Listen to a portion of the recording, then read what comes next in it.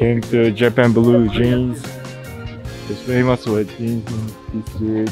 We call it Kojima Jeans Street and it is in Okayama, maybe a little bit southern part and I like jeans so I'll buy some maybe I if I like some of them so this is the first one. In Okayama is famous with jeans. Let's go. Let's go. Let's go.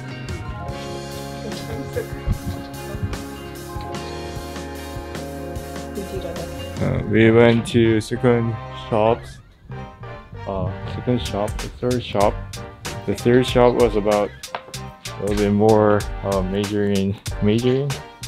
Uh, yeah, it was, it was actually cool for me. He explained well about what's about jeans and